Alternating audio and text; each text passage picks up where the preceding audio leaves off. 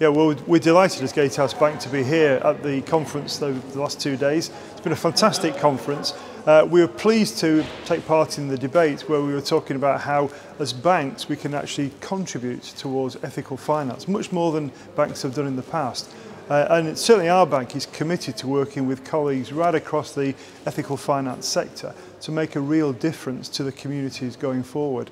Um, we were delighted to be an initial uh, founder signatory of the United Nations Principles for Responsible Banking and with that regard we will now be setting ourselves in discussion with other people at the conference here some goals, some challenging goals that we can take both for ourselves as a bank, for our local communities But also, as the principles demonstrated, we should really be working hard for sustainable approaches to our staff's well-being, our staff's culture, and also, more importantly than anything else at the end of the day, is doing the right thing for our customers. So the whole ethical principles are based not just in renewables and sustainability, which are fundamentally important, but also how we treat our people in a much more caring and sustainable way.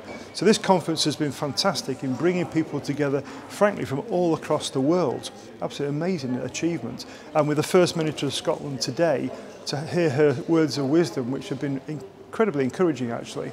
And I really congratulate the organisers uh, of, of the GEFI for bringing this together and making it happen. So thank you very much.